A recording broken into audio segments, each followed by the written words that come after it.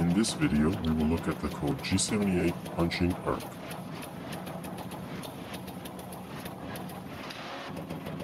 Please subscribe to our channel and click the bell icon to get notifications every time a new video is released.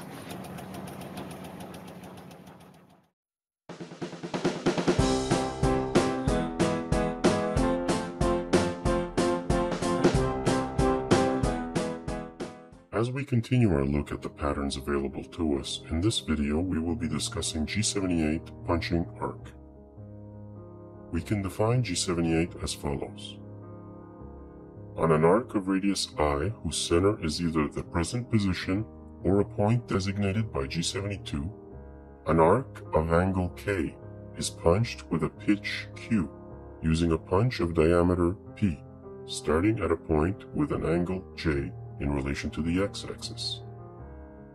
The parameters for G78 are I, J, K, P, Q, D.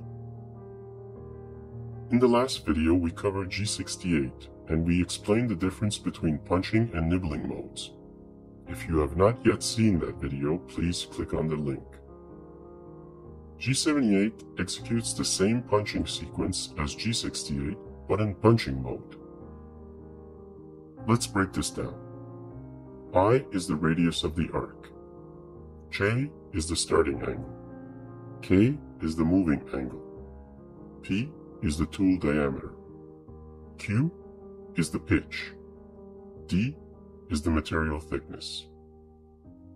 We can see the parameters are exactly the same as G68 with the addition of D which is used for specifying the material thickness. The G78 code will process all hits in punching mode, so we have no maximum limit when it comes to the parameter Q, the pitch. The RAM will wait until the material is in position before punching the next hit. We still have one limitation, the pitch Q, which must be greater than the material thickness. This is why we specify the material thickness with the parameter D. If we look at this example, we see that there is an arc at the top right corner of the sheet. The radius is 2 inches. We can determine that the starting angle is 0 degrees and the total punching angle is 90 degrees. The center point is at x20, y13, and the tool used is a 1.25 round in station T201. Let's go to PunchSim and write a program. X20, Y13,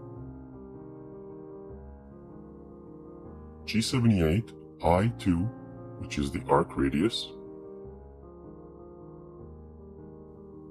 J0, which is the starting angle of the arc, K90, which is the total angle punched, P1.25, which is the diameter of the tool.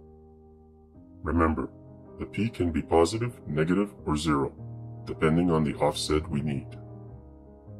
Q 0.2, which is the pitch or center to center of hits. D, which is the material thickness. In this case, we will use 0.090 material thickness. T201, which is the station the tool is in.